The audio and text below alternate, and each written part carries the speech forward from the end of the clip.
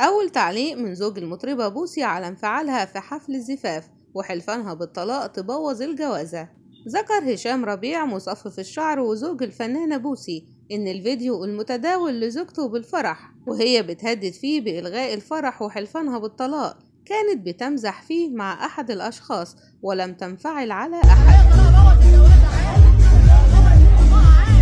وأكد ربيع إن السبب الرئيسي لإرهاقها كثرة الرقص بشكل مستمر مع أصدقائها وحذاء القدم اللي كانت بترتديه قائلا الجزمة هي السبب.